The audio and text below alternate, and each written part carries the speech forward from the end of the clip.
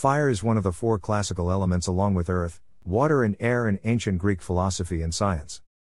Fire is considered to be both hot and dry and, according to Plato, is associated with the tetrahedron. Fire is one of the four classical elements in ancient Greek philosophy and science. It was commonly associated with the qualities of energy, assertiveness, and passion. In one Greek myth, Prometheus stole fire from the gods to protect the otherwise helpless humans, but was punished for this charity. Fire was one of many archai proposed by the pre Socratics, most of whom sought to reduce the cosmos, or its creation, to a single substance. Heraclitus considered fire to be the most fundamental of all elements. He believed fire gave rise to the other three elements. All things are an interchange for fire, and fire for all things, just like goods for gold and gold for goods.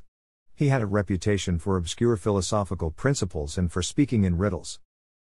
He described how fire gave rise to the other elements as the upward downward path, a hidden harmony or series of transformations he called the turnings of fire. First into sea, and half that sea into earth, and half that earth into rarefied air.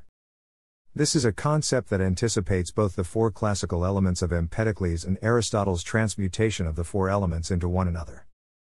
This world, which is the same for all, no one of gods or men has made.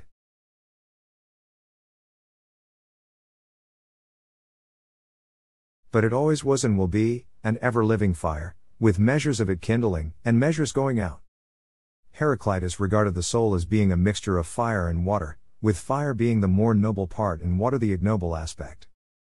He believed the goal of the soul is to be rid of water and become pure fire, the dry soul is the best and it is worldly pleasures that make the soul moist. He was known as the weeping philosopher and died of hydropsy, a swelling due to abnormal accumulation of fluid beneath the skin. However, Empedocles of Acragas is best known for having selected all elements as his archai and by the time of Plato, the four Empedoclean elements were well established.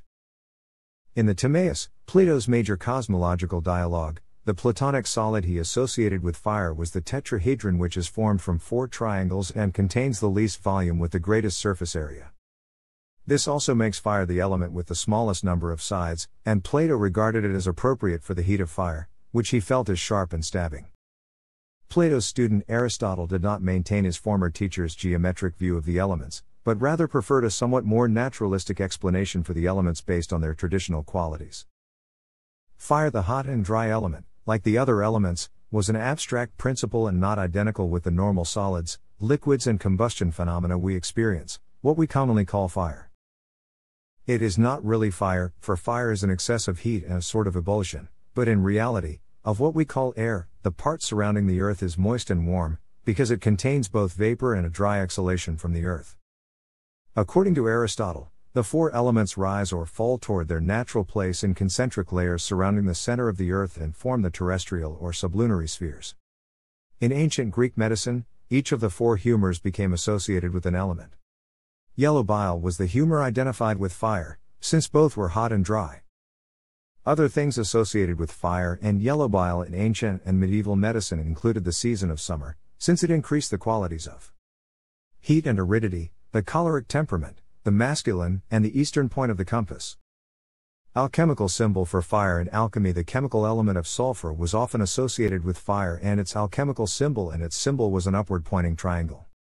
In alchemic tradition, metals are incubated by fire in the womb of the earth and alchemists only accelerate their development.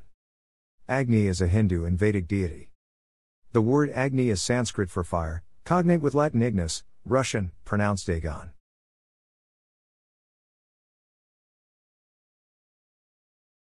Agni has three forms fire, lightning, and the sun. Agni is one of the most important of the Vedic gods. He is the god of fire and the acceptor of sacrifices. The sacrifices made to Agni go to the deities because Agni is a messenger from and to the other gods. He is ever young, because the fire is relit every day, yet he is also immortal. In Indian tradition, fire is also linked to Surya or the sun and Mangala or Mars, and with a southeast direction. Fire and the other Greek classical elements were incorporated into the Golden Dawn system. Philosophus is the elemental grade attributed to fire. This grade is also attributed to the Kabbalistic Sephira Netzach and the planet Venus. The elemental weapon of fire is the wand. Each of the elements has several associated spiritual beings. The archangel of fire is Michael, the angel is Ariel, the ruler is Seraph, the king is Jinn, and the fire elementals are called salamanders.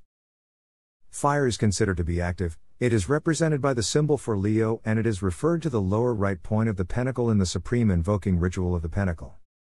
Many of these associations have since spread throughout the occult community. Fire in tarot symbolizes conversion or passion. Many references to fire in tarot are related to the usage of fire in the practice of alchemy, in which the application of fire is a prime method of conversion, and everything that touches fire is changed, often beyond recognition. The symbol of fire was a cue pointing towards transformation, the chemical variant being the symbol delta, which is also the classical symbol for fire. Conversion symbolized can be good, for example, refining raw crudities to gold, as seen in the devil. Conversion can also be bad, as in the tower, symbolizing a downfall due to anger. Fire is associated with the suit of rods slash wands, and as such, represents passion from inspiration. As an element, fire has mixed symbolism because it represents energy, which can be helpful when controlled, but volatile if left unchecked. Fire is one of the five elements that appear in most Wiccan traditions influenced by the Golden Dawn system of magic and Aleister Crowley's mysticism, which was in turn inspired by the Golden Dawn.